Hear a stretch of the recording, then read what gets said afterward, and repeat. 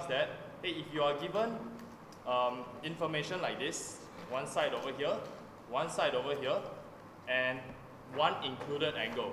Okay, so this is the information given to you. I give you one side over here, C, directly opposite the capital C, one side B, and I give you an included angle. How many possibilities are there for the length of B to C? How many, how many possibilities do you see? If I, if I give you these restrictions, one length B, one length C, and one angle A in between the two of the lengths. How many options do you have for the line BC? Only one, right? If, there, if, you're, if you're restricted to only one in this case, that means you should be able to calculate its length. Okay? So that's the whole idea behind it. If you're able to calculate the length of BC, then does, uh, does that mean that you can apply any other rules to get, for example, this unknown angle? So if you're able to find A already, do you think you'll be able to find angle C? How? Sine rule, right? Because we have angle A, we have side A, we have side C, then we should be able to find angle C.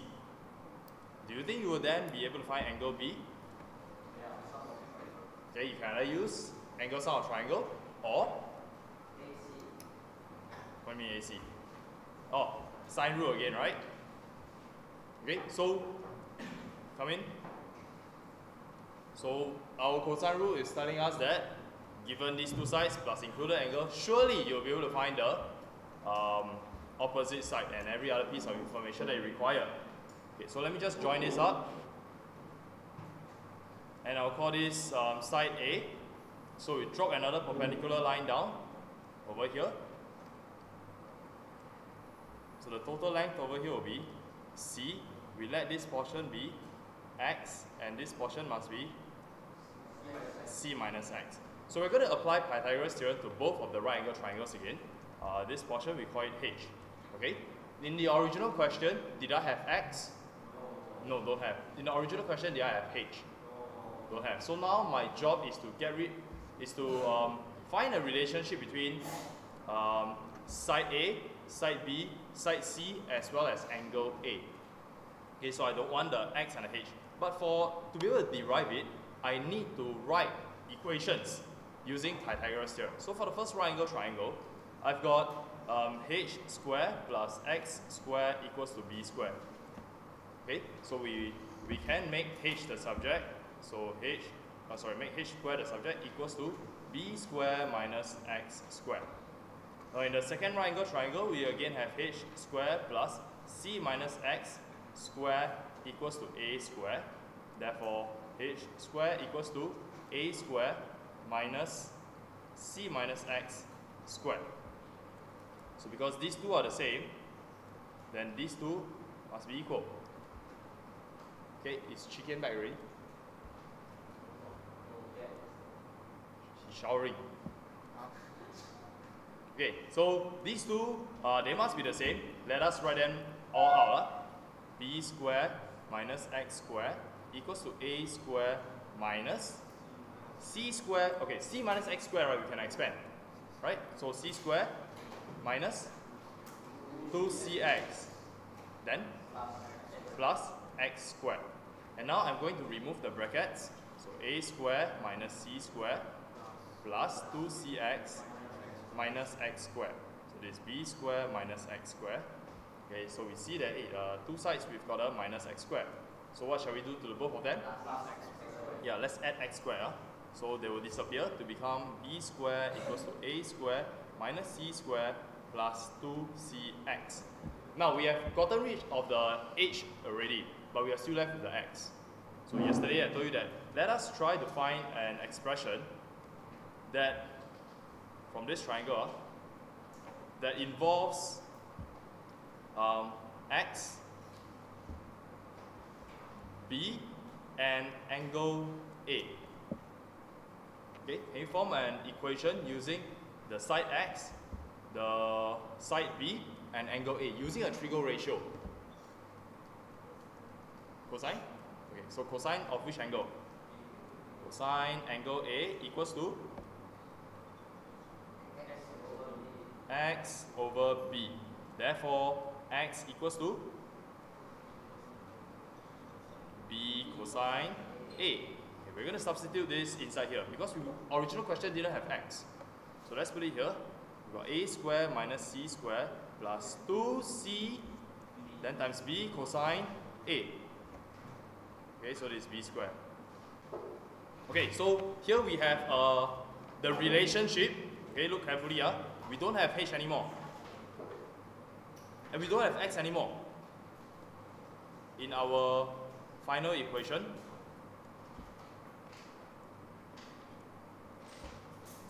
we have the side B, side A, side C, side C, side B, and the angle. Okay? So originally, uh, I said that you are given these two, these three pieces of information, the side B, side C, as well as the included angle. And we say that there was only one way for us to join the line B to C. Alright? Okay? So given the two sides plus the included angle, we must be able to find the side BC. So this, this one we call it A. So now our job is to make A the subject. Okay? So A square equals to B square plus C square minus 2 BC cosine A. This is our cosine rule. Okay? So what this means is that when you are given a triangle of, of uh, a triangle named ABC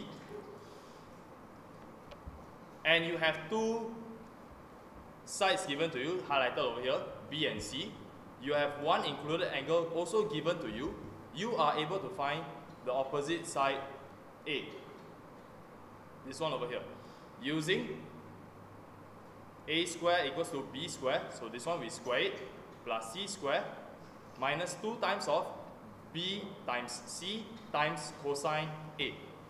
Okay? Let's practice one question right now. Okay, all look at the screen. Look up, look up. Stop what you're doing. So here I have an, uh, I have two sides plus one included angle. So I am able to find the opposite side using my cosine rule. All I need to do is to, our cosine rule always starts with a length an unknown length. Usually we put the unknown on the left hand side. So here my unknown length is x. So I'll put x squared equals to, then I just write down the sum of the squares of the other two sides. Okay, so 6 squared plus 7 squared. I do not need to quote the formula. Then minus 2 times of, then the same numbers appear again. 2 times of 6 and 7. Multiplied by cosine, the angle that is opposite the unknown. So in this case, it will be 101 degrees. Okay, so this is how you can simply write down the cosine rule by knowing the pattern. Okay, so here we have x square equals to what did you say it was? 1?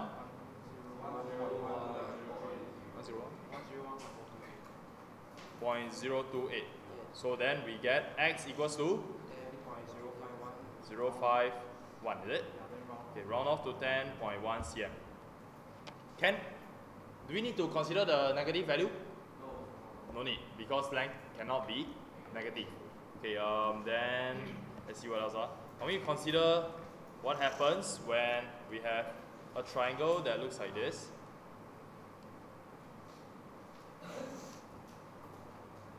This one over here is 90 degrees.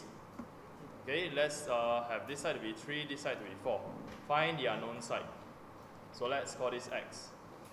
So now I'm not giving you any x square, 3 square, plus 4 square, minus 2. Then the same numbers go in, right? 3, and then 4 cosine, 90 degrees. Okay, so x square equals to 25. Okay, wait, uh, this is uh, 9 plus 16, then minus 6 times 24 times, what's cosine 90? What's cosine 90 in your calculator? Zero. That is why we get 25. And therefore x equals to 5. So at the start you felt that you could have used Pythagoras theorem, right? So do you can you see Pythagoras theorem inside our cosine rule? Where it says a square equals to b square plus c square minus 2bc cosine a. Can you see Pythagoras theorem inside here? Where is it? This part is our Pythagoras theorem. If this one equals to 0 and that happens when angle A equals to 90 degrees. And that is why we can use Pythagoras theorem. Okay? So the next case that we can apply Pythagoras theorem is if we are given three sides already. So let us do question 2b from exercise 7.5. Question 2b. The substitution, well, so the first step, plus tan square. Okay, because my unknown is theta, I start with the side that is opposite to the unknown. So here, this being 10, I start with 10 square equals to, then must be the other, the sum of the squares of the other two sides. 5 square plus 7 square minus 2 times of, copy the same number, 5 times 7 cosine theta. So now, um, yeah, like I said, most of you can do the substitution. But when it comes to manipulation, I see a quite a number of you make very strange, careless mistakes. You try to evaluate this first. Can that be? No. Cannot. They are separate. The most you can do uh, is to evaluate this, then evaluate this, then make cosine theta the subject. Okay? So don't forget all your basics. But for me, I prefer to um, do it this way. So I have 10 square minus 5 square minus 7 square equals to negative 2 times 5 times 7 cosine theta. So make cosine theta the subject. Cosine theta equals to 10 square minus 5 square minus 7 square. Of course, along here you can already evaluate. Divided by negative 2 times 5 times 7. So now I can key this um, into my calculator to find out the value. And what do we have? 26 over negative 70. Okay, so this is a negative number. 26 over 70 with a negative sign. This is negative. 26. Uh.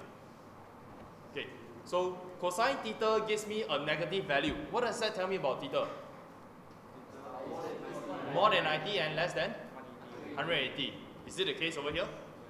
Yes, it is. So all I need to do to find theta is simply take cosine inverse. Negative 26 over 70. And get the answer. What do you have? 111.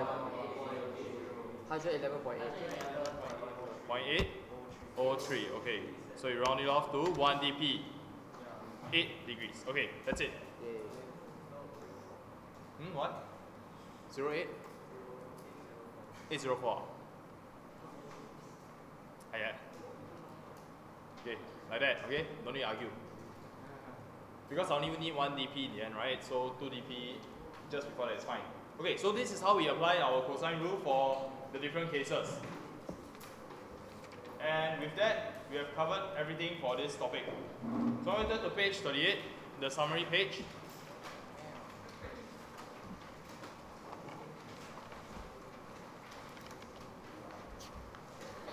At the bottom, okay, everything in this page is very important, huh? but I want you to concentrate at the bottom. It says sine rule. And then uh, there is a part A and part B. Two angles and a side. So once you have two angles plus a side given, use sine rule. Once you have two angles and non-included angle, also use your sine rule. Okay, so highlight this part and the other one, cosine rule. You use it when you have two sides and included angle as well as you are given three sides.